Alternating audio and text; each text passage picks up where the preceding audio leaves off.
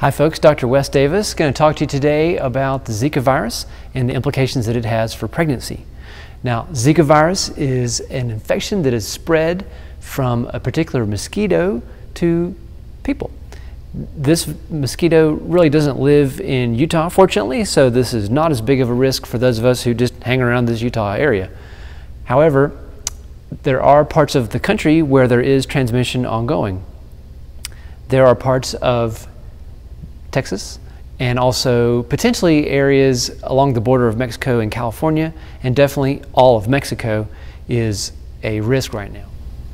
If a pregnant mother becomes infected with the Zika virus, it can cause serious birth defects, uh, some of which are pretty scary in terms of brain development, eye development, uh, and some other musculoskeletal problems. So it's really important that we avoid this while pregnant.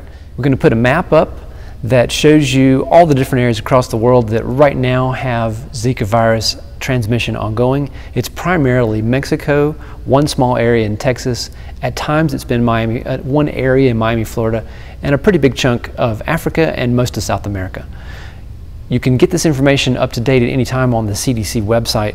So I definitely encourage anyone who's thinking about traveling outside the, U the US to consult the CDC website before planning any travel.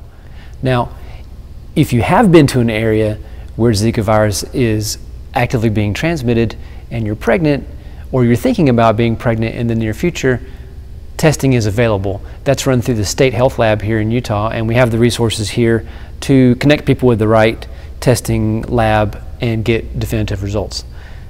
Another area that is a risk is if a partner travels to one of these areas, becomes infected, and comes home this can be transmitted sexually. That's the other way that this can pass from one person to another is through intercourse. The only other way is primarily through mosquito bites.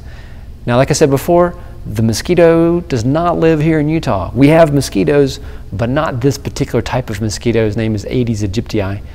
Fortunately, they don't like altitude and they don't like cold, so pretty much Utah's out. Now, if you must travel to one of these areas during the time that you are thinking about being pregnant or have become pregnant, then mosquito prevention is the key. That primarily means use mosquito repellent. The types of mosquito repellent you can buy at any regular store that contain DEET are safe in pregnancy.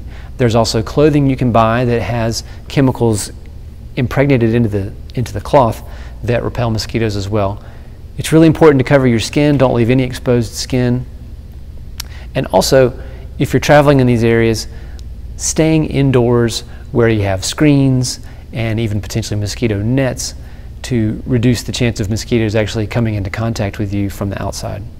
Women who are thinking about getting pregnant and have traveled to one of these areas and either have been or potentially have been infected should wait at least eight weeks after that event before they try to get pregnant.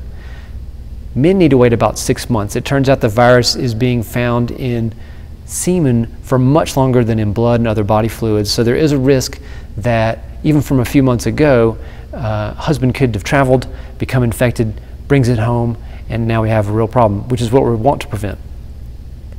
Definitely notify your doctor if you've traveled to any of these areas in the last six months. And also consult the CDC website for more information. We'll put a link below.